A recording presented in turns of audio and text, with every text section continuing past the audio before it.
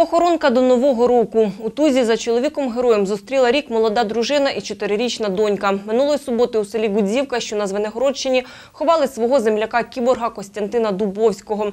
26-річний боєць загинув поблизу села Піски.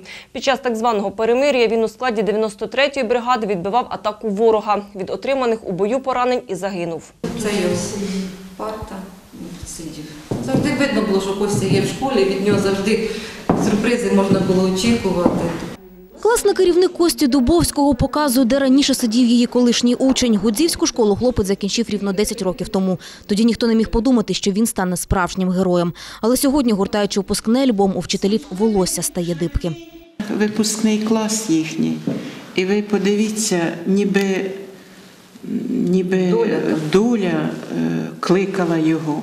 Усі е, жарти, ось бачите, е, цей хлопчик із тортом сфотографірований, а ці е, інші жарти, а Костя наш ще тоді у кіберги готовився. Такими хлопчиками сильна наша Україна. Костянтин Дубовський був сиротою, виховувала його старша сестра. Та в останню путь свого героя-земляка бійця 93-ї бригади проводжає усе село. Йому було всього 26. Перед загибелю Костянтин встиг побувати вдома. 10 днів відпустки провів зі своєю дружиною та чотирирічною донечкою.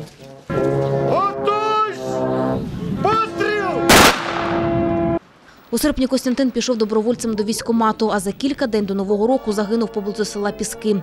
Диверсійна група бойовиків, попри оголошене перемир'я, атакувала український блокпост. Бійці вирішили не відступати і вступили у бій. У ньому Костя отримав два кулеві і одне осколкове поранення. Хлопці зробили все можливе і неможливе для того, щоб ворог не прорвався. При цьому положили два чоловіка зразу в бою свої життя. Воюють не по-чесному. Немає, казали, що е, слово російського офіцера не вартує навіть гною, який кидають на удобрення городів, скажімо, землі. У них немає слова.